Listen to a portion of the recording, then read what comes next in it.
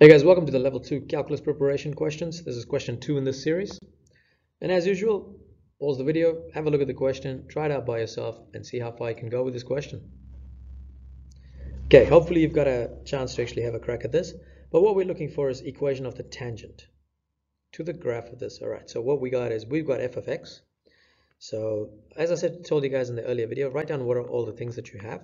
So you've actually got f of x, which is 6 minus 10x minus 3x squared. Uh, you also have f of 1 because f of 1 is equal to negative 7. You need to figure out what the gradient is at 1. So you're looking for f dash of 1. Right now we don't have what it is. To find f dash of 1, you're going to need f dash of x. And then, of course, the last part is trying to work out the equation of the line. Okay, so there's three components to this. First, we got to figure out what f dash of x is. Second, what f dash of 1 is. Third, put everything together to actually get the equation of the tangent. So the first step I'm going to do is differentiate the function.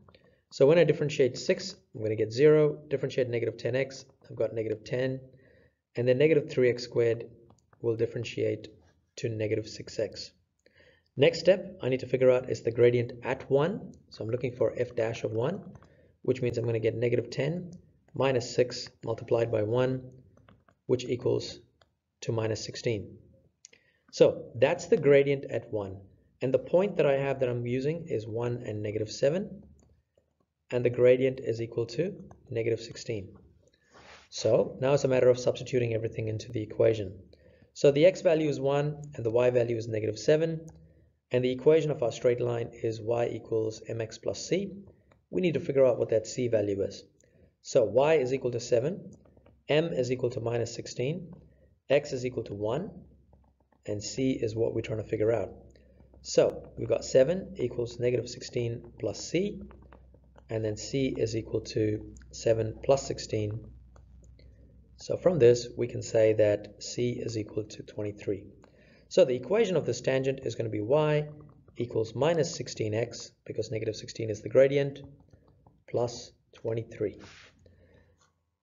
And guys, that's basically it for this little question here. If you have any uh, comments or questions, pop it in the comment section below. Thank you for watching. And as usual, don't forget to like, share, and subscribe.